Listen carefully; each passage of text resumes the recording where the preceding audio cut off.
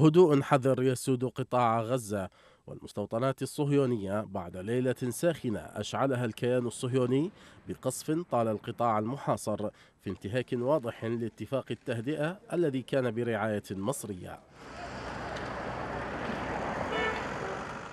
الجيش الصهيوني أوقف قصفه على القطاع دون تحديد أسباب ذلك وحركة حماس التزمت بوقف ردع العدوان لكن الظروف السياسية في حكومة الاحتلال وتصريحات مسؤوليه لا تشي بأن العاصفة قد ولت فلا تزال طائرات استطلاع الاحتلال تحلق على مستويات مختلفة في أجواء القطاع.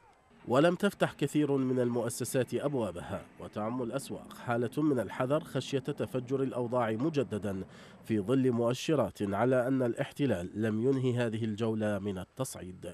فمنذ أن سقط صاروخ قادم من غزة على بلدة شمالية الأبيب أصيب الوسط الصهيوني بهلع شديد بسبب فشل القبة الحديدية في التصدي له ولعمق المسافة التي طالها. الحادثة أدت إلى استنفار سياسي وخصوصا لوقوعها قبل أيام من موعد الانتخابات البرلمانية.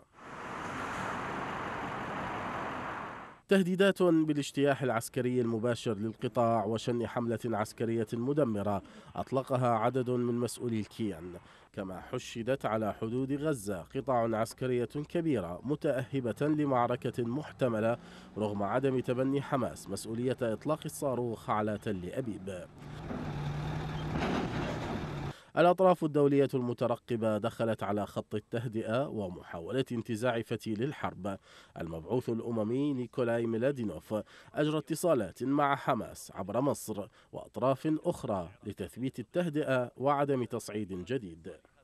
أما من الجانب الصهيوني فالتلويح بالحرب رغم ظرف الانتخابات هو الرد على الأطراف التي دخلت على خط التهدئة حيث أعلن رئيس لجنة الخارجية والأمن التابعة للكنيست آفي دختر أن موعد الانتخابات قد لا يكون عائقا أمام شن حملة عسكرية ضد غزة المحاصرة.